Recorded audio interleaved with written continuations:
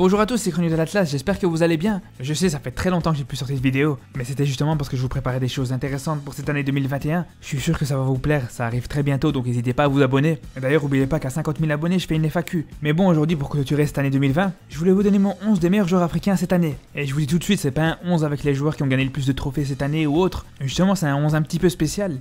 Il y a peut-être même des joueurs qui vont vous surprendre. En tout cas, moi je suis très satisfait de l'équipe que je vais vous donner. Mais je vais pas faire durer le suspense plus longtemps. C'est parti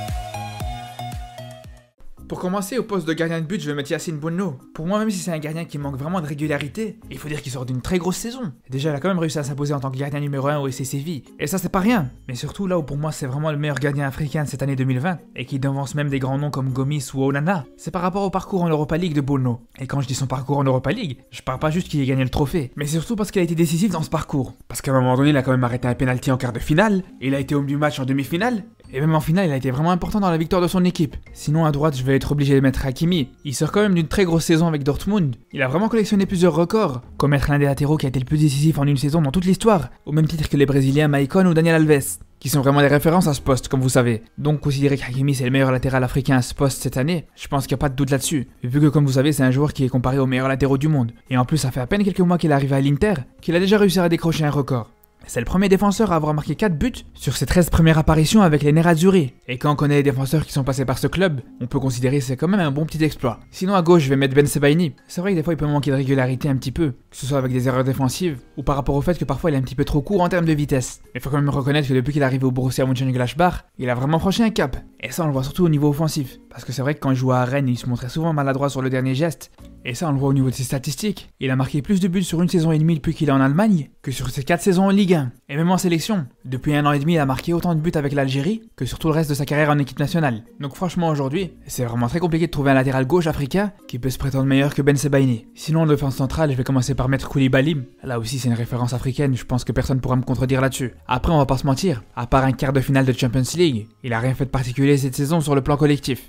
Mais il a quand même une année avec un contexte compliqué dans son club. Mais ça enlève absolument rien à ses qualités et au fait que c'est clairement le meilleur défenseur central africain en ce moment. Sinon, en central gauche, je voulais mettre Saïs. Aujourd'hui, c'est vraiment un défenseur qui a fait son nom en première ligue et répond souvent présent, même dans les grands matchs. On l'a vu à peine le week-end passé contre Tottenham, où en plus d'avoir été très solide défensivement, en neutralisant complètement Kane, il a même donné le but de l'égalisation à son équipe. Ça lui a carrément valu le titre d'homme du match. Sinon, en tant que milieu défensif, je pense que ça va vous surprendre. Mais j'ai vraiment envie de mettre Zambo Anguissa. Là aussi, c'est un joueur qui a rien gagné en particulier cette saison avec son équipe. Mais en vérité, on s'en fout. Parce que franchement, sur le plan individuel, il a fait des choses incroyables. Et je pense pas qu'il y ait un Africain à ce poste qui peut se vanter d'avoir fait le même. Déjà, sa saison avec Villarreal, elle l'a fait vraiment progresser. Et ça, surtout sur le plan technique. En plus d'avoir bien amélioré sa relance, maintenant il se permet même de faire des gestes techniques de fou. Et la cerise sur le gâteau, c'est que cette saison avec Fulham, c'est resté pendant longtemps le meilleur dribbleur de première ligue.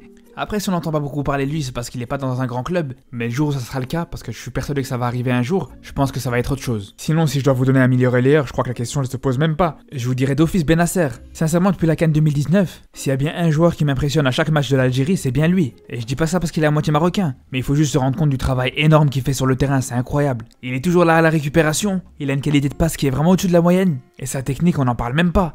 Donc franchement, je pense pas qu'il y ait un milieu relayeur en Afrique qui pourrait se prétendre meilleur que lui. Et d'ailleurs, ça tombe bien, vu qu'il a été élu meilleur joueur d'une Coupe d'Afrique qu'il a gagné. Après, en milieu offensif, je vais mettre Ziyech, mais je vais pas vous mentir, j'ai longtemps hésité.